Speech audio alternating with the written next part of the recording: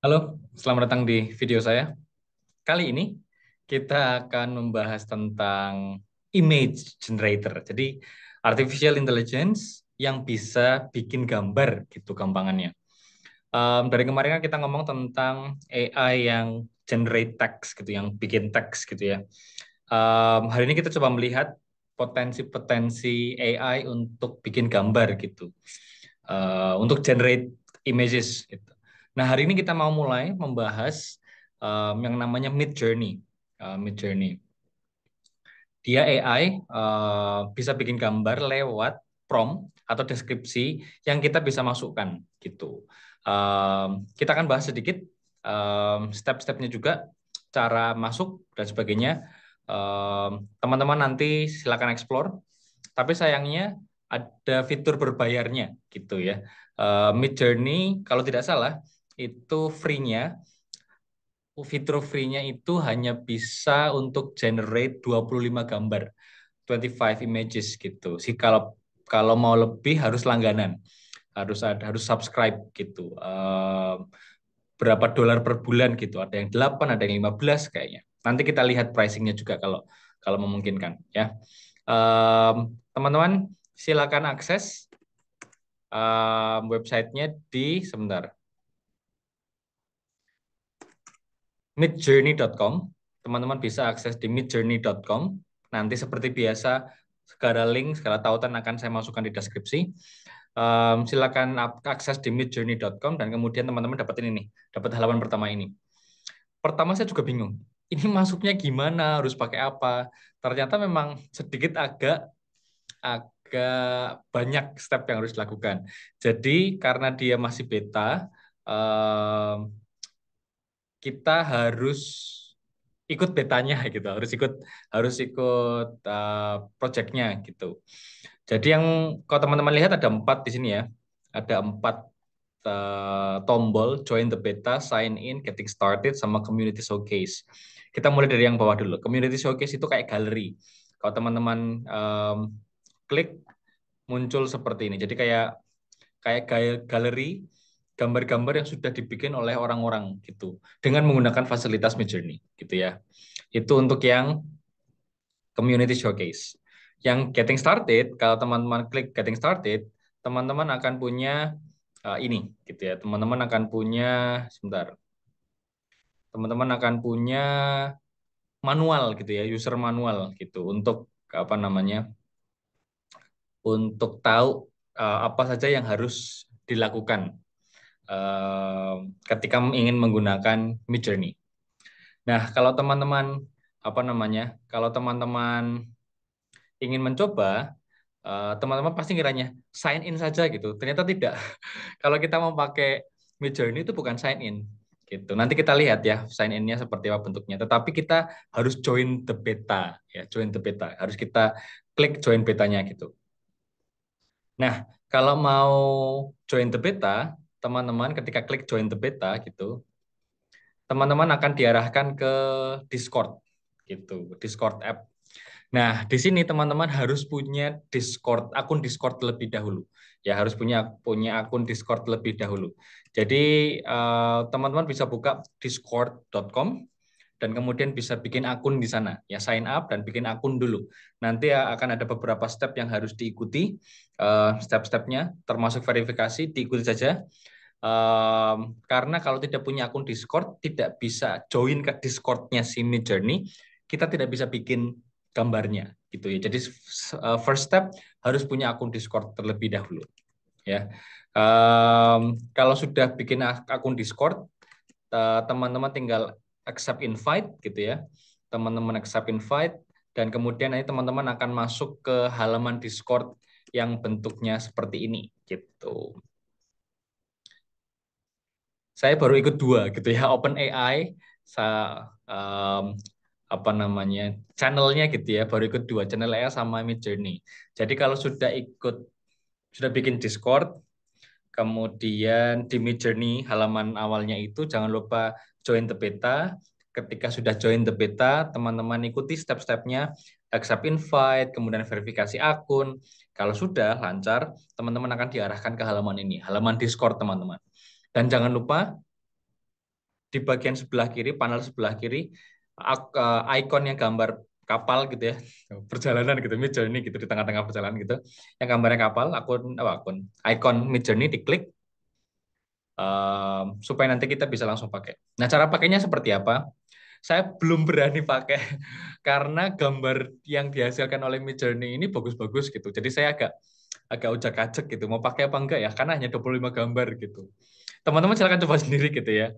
Saya akan saya akan tunjukkan beberapa uh, step-stepnya saja gitu setelah teman-teman klik icon Midjourney ini teman-teman nanti bisa mulai generating images gitu. Lucunya memang saya, kira generating images itu dari websitenya gitu dari dari website midjourney.com yang tadi. Ternyata tidak. Uh, kalau mau generate imagesnya ternyata harus lewat Discord gitu, harus lewat betanya di Discord.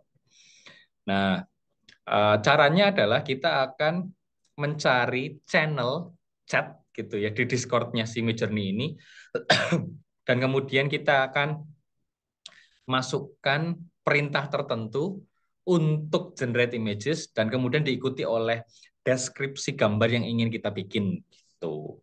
Jadi kita mulai step by stepnya gitu ya menulis secara secara singkat.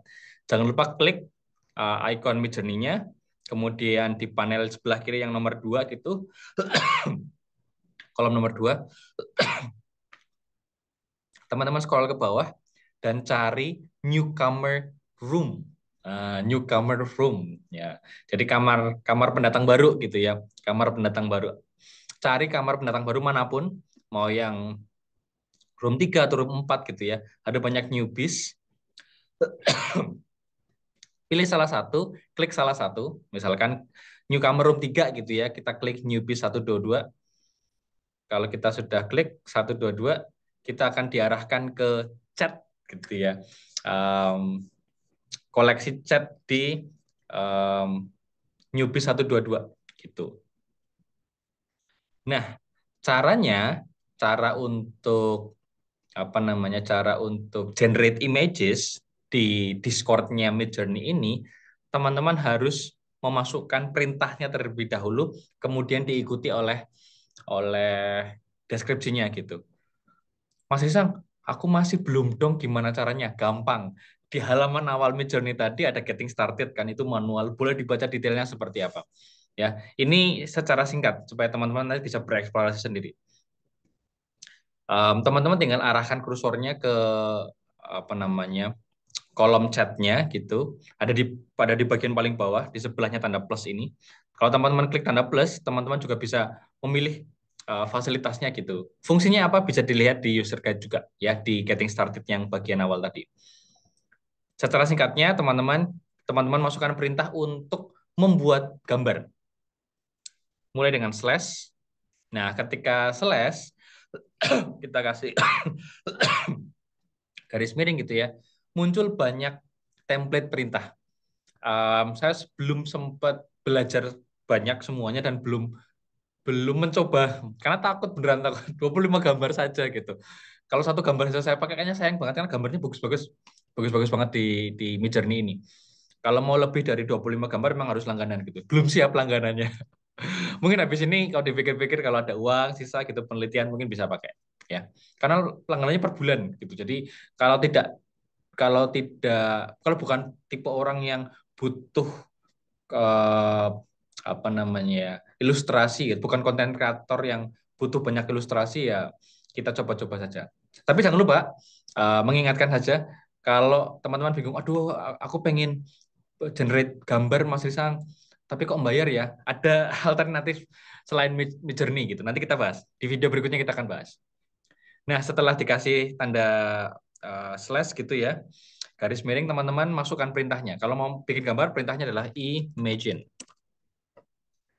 Nah, muncul tuh imagine di sebelahnya ada prompt. Nah, yang teman-teman harus lakukan nanti adalah setelah mengetik slash imagine, teman-teman tinggal spasi, Nah, setelah spasi, di kolom prompt itu teman-teman memasukkan deskripsi gambar yang teman-teman ingin buat.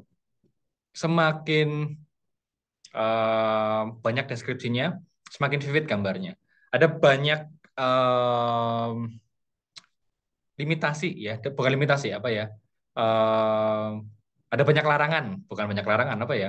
Ya intinya ada ada beberapa yang tidak boleh tidak boleh dimasukkan gitu, tidak boleh di di apa ya dibikin gitu image imagesnya gitu. Um, syarat-syaratnya ada di ketik syarat tadi itu. Jadi selama gambarnya normal-normal saja gitu ya tidak aneh-aneh uh, Midjourney bisa membuatkannya gitu. Jadi dituliskan promnya sayangnya promnya harus bahasa Inggris sayangnya sayangnya saya belum nyoba bahasa Indonesia dan belum berani tapi kalau mau nyoba boleh teman-teman ya gunakan slot 25 gambar gratisnya ya setelah diketik slash imagine uh, spasi, kemudian promnya muncul, diisikan promnya, kemudian di enter. Nah, ketika di enter, teman-teman akan dapat pilihan seperti ini. Ini kita contoh aja ya, daripada saya bikin gambar baru gitu ya. Teman-teman akan dapat uh, hasil seperti ini, hasil seperti ini. Nah, setelah dapat hasil seperti ini, teman-teman dilihat gambarnya ada empat kan, nah, ada empat gitu. Nah, dari gambar empat ini, teman-teman punya pilihan U sama V. Kalau U artinya upscale. Upscale apa ya? Saya lupa. Atau upgrade gitu, upscale kayaknya. Ini dinaikin, dinaikin uh, dinaikin kualitas gambarnya gitu. Nanti tahu teman-teman klik, teman-teman akan punya uh, apa namanya? Teman-teman akan punya apa fitur lagi gitu. Nambahin apanya gitu. Teman-teman dieksplor sendiri ya. Teman-teman dieksplor sendiri. Kalau V itu berarti kita akan merubah dengan gambar yang baru gitu. Kalau pengen gambar yang lain, teman-teman tinggal di refresh.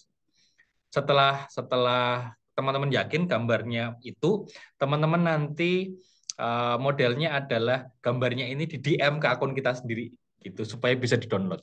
Jadi downloadnya downloadnya itu bukan di websitenya si tetapi lewat fitur-fitur chat di Discord ini gitu sedikit lebih rumit karena kalau kita tidak terbiasa pakai Discord kemudian kita jadi agak sedikit apa namanya nunak-nunuk bahasa Jawanya gitu. Jadi agak sedikit ini gimana sih gitu. Kemudian harus lihat uh, manualnya lagi, uh, harus belajar lagi gitu. Memang sedikit lebih ribet, tetapi begitu teman-teman sudah familiar, teman-teman bisa bergerak lebih cepat gitu. Dan kalau teman-teman memang uh, tipe orang yang bekerja di dunia konten kreator yang berurusan dengan ilustrasi, Midjourney ini akan sangat bisa membantu. Ada banyak kasus, um, kalau kita sambungin dengan penggunaan ChatGPT yang kemarin, ada banyak kasus orang bikin karya baru dengan kombinasi mereka berdua ini. Misalkan teman-teman di ChatGPT masukkan prompt untuk bikin cerita anak, uh, dapat nih cerita anak buku gitu 30 halaman. Kemudian dari prompt-prompt itu, kemudian teman-teman masukkan ke Midjourney, oleh Midjourney dibikinin ilustrasinya untuk setiap bagian dari buku itu. Teman-teman nggak usah nggak usah bayar bayar ilustrator. Tidak usah bayar uh, penulisnya gitu. Sudah bisa, bisa bikin karya sastra. Isu yang lain sih yang harus kita bahas gitu. Tentang copyright tentang isu originality dan sebagainya gitu. Tapi fakta bahwa kombinasi AI tool seperti ini bisa bikin bikin sesuatu karya yang baru gitu menurut saya menarik tinggal teman-teman explore sendiri uh, tapi kalau teman-teman penasaran gitu Mas Rizang apa sih uh, alternatifnya Midjourney yang gratisan gitu. Tunggu video berikutnya. Uh, di video berikutnya kita akan bahas dua alternatif dari Midjourney yang bisa kita gunakan secara gratis, meskipun tetap juga ada limitasinya. Gitu. So let's keep it short today videonya. Thanks for watching. Sampai jumpa di video berikutnya. Bye.